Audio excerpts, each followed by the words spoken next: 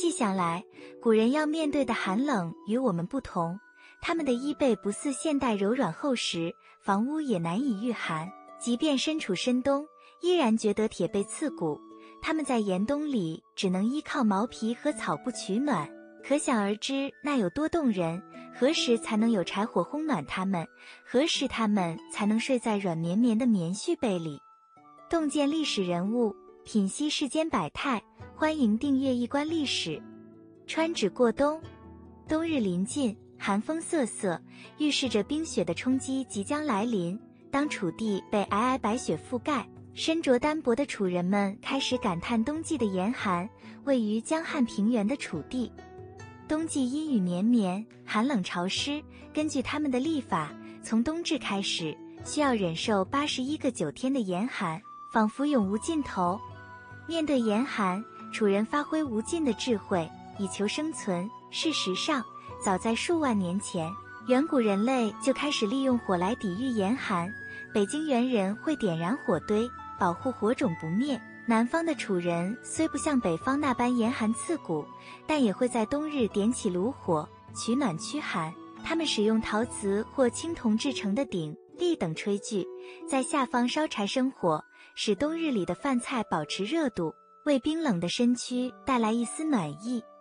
如今湖北、四川一带的火锅文化，正是源自古人的这种智慧。除了火，楚人的舌尖上也蕴含着驱散严寒的秘诀。他们热爱美酒佳肴，喝酒不仅是娱乐，还能让酒精在体内发挥驱寒的功效。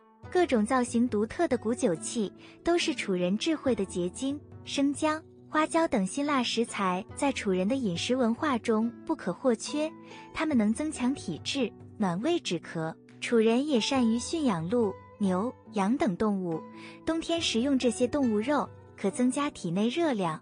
考古发现的活线鹿等，就是楚人崇尚这些动物的证明。此外，楚人冬天还会大量食用各种当地特产的野菜，这些野菜富含维生素，具有保暖功效。一顿丰盛的野味饭就能驱散许多寒意。然而，仅仅吃得丰盛，并不能真正御寒。楚人在衣着上也下足了功夫。考古学家曾在楚国古墓中发现各式头巾、手套、绢袍等冬装。这些衣服不仅实用，还注重时尚美观的结合。流传至今的汉服也深受其影响。回首数千年前的古人，他们的御寒方式还非常原始。他们会像野兽一样躲在山洞里取暖。或用兽皮、树叶临时搭个窝棚，区区御寒。直到后世，人类才逐步掌握了织布与养殖牲畜的技艺，冬天的衣食才得以改善。数百年后，宋朝种植棉花的技术日趋成熟，普通老百姓才得以大量使用棉衣、棉被御寒。在那之前漫长的岁月里，许多穷苦的百姓都靠草纸衣服挨过冬天，虽然保暖性不佳。但极其廉价易得，在物质匮乏时也可凑合使用，甚至在文人学士圈子里也存在着穿草纸衣的流行风尚。他们不计较衣着价格，只求心灵的通透。这种简朴的品味也成为后世文人的精神典范。历史见证了人类不断学习创造，以对抗自然严酷考验的过程。正是有了先人的聪明和创造。我们的冬日才不再寒冷困苦。我们应当感激老一辈艰苦奋斗积累的智慧，并把这份感恩之情传承下去。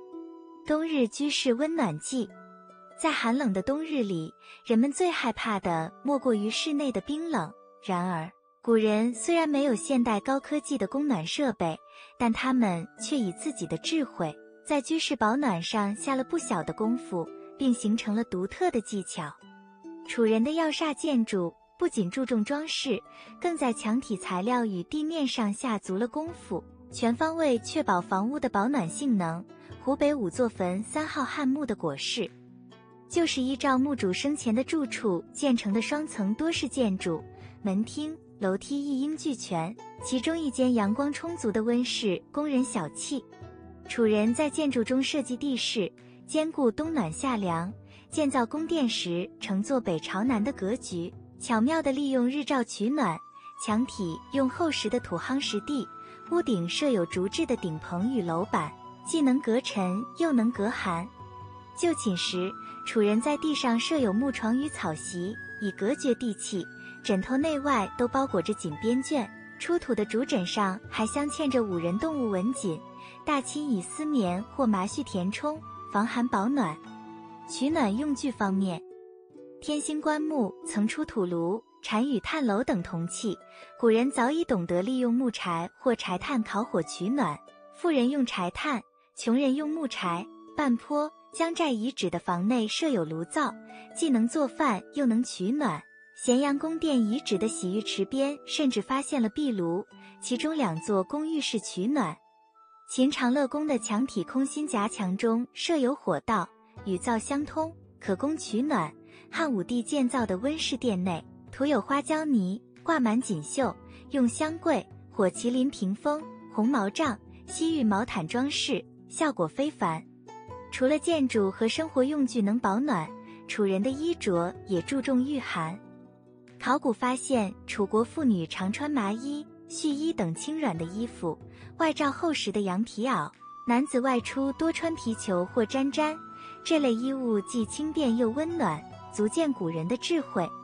在饮食上，冬季楚人也讲究滋补养生，常吃的肉类有猪肉、鱼肉、蛙肉等，肉类含热量高，有助于御寒。蔬菜以萝卜、白菜等冬菜为主。酒方面以浓香型白酒为主，小量饮酒可驱寒。就医方面，楚人重视调理体质抗寒，常用温热药材如桂枝、附子等，或以艾叶、艾条熏身取暖、发汗驱寒。有专门的医书记录防寒健身技巧，如辟谷气功等。楚人不仅注重食衣住行各方面的御寒，还善于娱乐消遣，缓解寒冷季节的郁闷情绪。他们喜欢弹琴、舞蹈、饮酒作诗，这类文娱活动多在室内进行，既可取暖又可消寂。古人在居室保暖上下的功夫，让我们应当珍惜现代温暖舒适的生活。如今科技发达，电热毯、空调等保暖产品应运而生，严寒也不再难熬。但古人自给自足、朴实无华的生活智慧，也值得我们学习和珍视。上层锦被暖箱，下层破衣受冻。冬季降临，古人为求暖意，无所不用其极。然而，由于社会地位的巨大差异，富贫之间的过冬方式可谓天壤之别。位居社会顶层的名门显贵，冬季取暖自是易如反掌。汉代帝王便在深宫内院中建起温室殿，墙壁涂满碎花椒泥。以厚实的毛毯将室内温度保持在温暖的春季，花椒泥散发的气息既能驱虫杀菌，又能使人心旷神怡。到了晋朝，首富石崇家中亦以胶为泥涂饰，可见此法在当时极为盛行。